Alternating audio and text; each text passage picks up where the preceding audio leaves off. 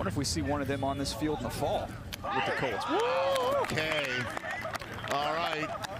A little twist and a little dive and a little bit of somersault. And he maintained possession. Got up and throughout. rolled, rolled the shoulders a little bit. He knows that look Oh, good. yeah.